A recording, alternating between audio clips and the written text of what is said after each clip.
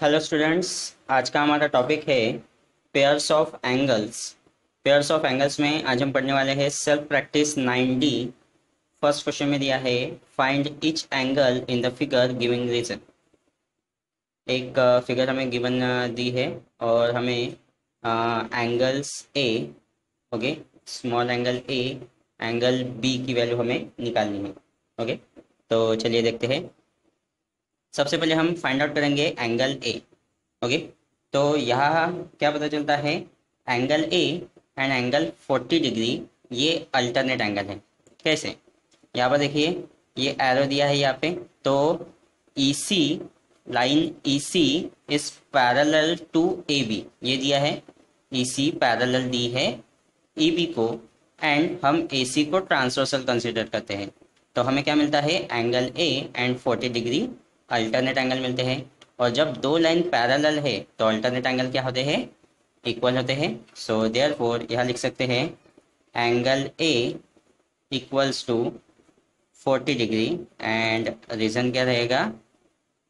Alternate angles and because of E C is parallel to what A B okay so angle A का measure हमें मिल गया है 40 degree then find out करते हैं angle B का measure okay so यहाँ हमें एंगल बी का भी मेजर मिलता है। एंगल बी का मेजर मिलता है 140 डिग्री ओके यहाँ पर देखिए angle B and 140 degree alternate angle है because D F is parallel to A B ये जो डी एफ़ है ये पैरल है ए बी को एंड डी बी क्या है उसकी? ट्रांसवर्सल है। तो ये दोनों अल्टरनेट एंगल है। सो so, अगर अल्टरनेट एंगल है तो एंगल बी का मेजर मिलता है कितना? 140 डिग्री। एंड रीजन यहाँ पे सेम लिखेंगे अल्टरनेट एंगल्स और कौन सी लाइन पैरेलल है? Line D F is parallel to the A B okay so angle A का मेजर मिलता है हमें 40 डिग्री एंड एंगल बी का मेजर मिलता है 140 डिग्री। नेक्स्ट क्वेश्चन में हमें एक पैरेललोग्राम दिया है parallelogram P Q R S okay तो यहाँ हम देखेंगे तो साइड पी क्यू पैरेलल है साइड एस आर के साथ। ओके देखिए यहाँ पे नोटिफाई किया है। And side P R parallel है साइड क्यू आर के साथ ठीक है?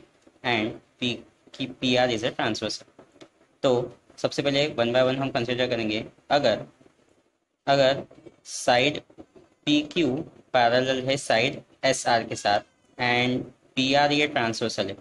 तो कहाँ से बनेगी? पी क्यू ओके देन ये transversal and then S R ठीक है?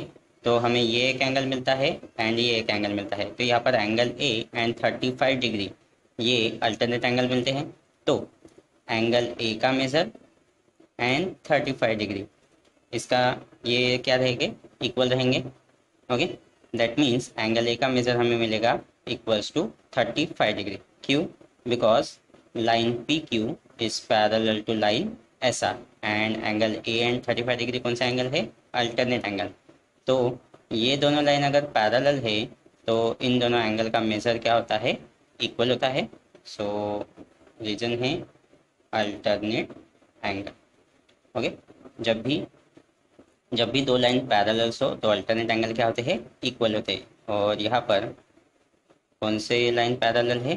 P Q is parallel to S R okay then angle B अगर हम देखते हैं तो एंगल बी फॉर्म होता है S P R okay and angle 25 degree twenty five degree का मेजर दिया है। एंगल क्यू आर पी तो देखिए एस पी अगर पैरेलल है आर क्यू को तो बी एंड 25 डिग्री ये अल्टरनेट एंगल बनते हैं, ठीक है? एंड अल्टरनेट एंगल्स क्या होते हैं? इक्वल होते हैं। कब? जब दोनों लाइन पैरेलल हो तो एंगल बी का मेजर हमें मिल जाता है क्या? 25 डिग्री ठीक है? रीजन सेम है, दोनों क्या है? अल्टरनेट एंगल है। ठीक है? एंड कौन सी लाइन पैरेलल है यहाँ पर? S P is parallel to the R Q okay then next figure दी है हमें quadrilateral A B C D okay ये एक पैरेललोग्राम है तो यहाँ ए बी पैरेलल है सी डी को एंड ए डी पैरेलल है सी बी को. Okay okay? सो so, हमें letter A letter B letter C and letter D की वैल्यू निकालनी है। तो सबसे पहले हम देखेंगे तो एंगल ए ये जो एंगल ए है ये अल्टरनेट है ट्वेंटी फाइव डिग्री के साथ। एंगल बी ये अल्टरनेट है थर्टी फाइव डिग्री के साथ। ठीक है?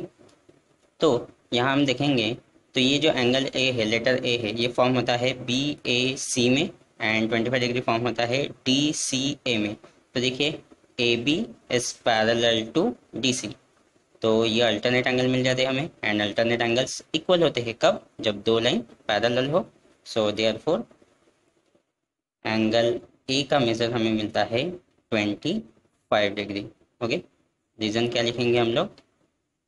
अल्टरनेट एंगल्स ओके यहाँ पर A B is parallel to दिया है क्या? सी डी या फिर डी सी आप लिख सकते हैं।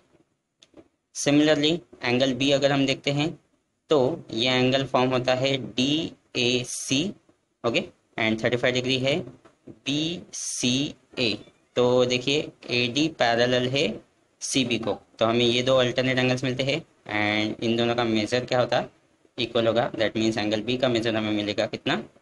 Thirty five degree reason same रहेगा, वो अल्टरनेट एंगल से ओके okay?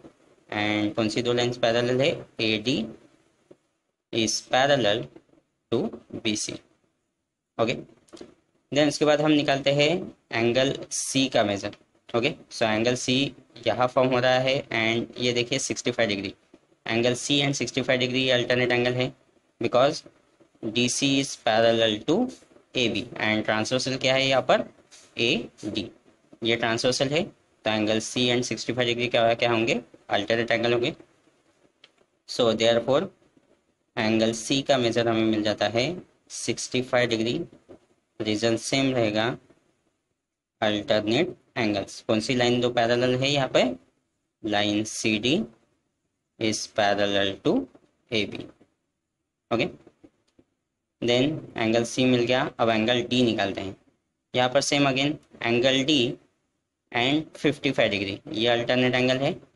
ओके देखिए एंगल डी फॉर्म हो रहा है यहाँ, इस तरीके से and fifty five degree and angle D form हो रहा है यहाँ, ठीक है? तो ये लाइन पैरेलल है किस लाइन के साथ? इस लाइन के साथ। That means line B C parallel दी है ए डी के साथ, या फिर ए डी पैरेलल है बी सी के साथ। तो ये अल्टरनेट एंगल हमें मिलते हैं। सो एंगल डी का मेजर हमें मिलता है फिफ्टी फाइव डिग्री ओके तो अल्टरनेट एंगल्स रीजन क्या है? Alternate angle because A D is parallel to B C okay तो चारों एंगल मिल गए हमें. Angle A angle B angle C and angle D next figure में दिया है. लाइन ए सी पैरल है. लाइन बी डी के साथ. And line C D parallel है. लाइन ए बी के साथ. सो हमें letter A and letter B का मेजर निकालना है। ओके तो सबसे पहले अगर लाइन ए सी पैरल है लाइन बी डी के साथ ओके तो angle B and thirty degree ये अल्टरनेट एंगल मिलते हैं। सो एंगल बी का मेजर हमें क्या मिल जाता है? Thirty degree so angle B equals to हमें मिल जाता है थर्टी डिग्री रीज़न क्या है? ला alternate angle. Okay? Because AC is parallel to what? BD okay देखिए AC पैरेलल है BD को और ये ट्रांसवर्सल है। तो ये एंगल यानी ये एंगल क्या होंगे? अल्टरनेट एंगल होंगे। अब एंगल ए निकालते हैं। तो अगर ए बी पैरेलल है सी डी के साथ एंड बी डी ट्रांसवर्सल है तो angle A and sixty degree ये भी अल्टरनेट एंगल होते हैं। देखिए this line is parallel to this line and this one is transversal तो ट्रांसवर्सल के एक साइड में एंगल ए दिया है और सेकंड साइड में 60 डिग्री तो ये अल्टरनेट एंगल है. सो एंगल ए का मेजर हमें मिलता है कितना? 60 डिग्री रीजन क्या रहेगा यहाँ पर? Alternate angle okay because A B is parallel to C D okay तो इस तरीके से हमें एंगल ए एंड बी के मेजर मिल जाते हैं।